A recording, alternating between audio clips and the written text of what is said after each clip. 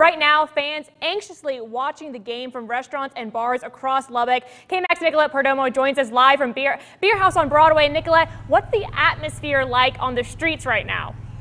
Paige, there's so much excitement out here. This is a historic day for Texas Tech and Lubbock, and you can hear some of the fans cheering right now. I'm just going to pause for a moment just so you can hear some of the cheering.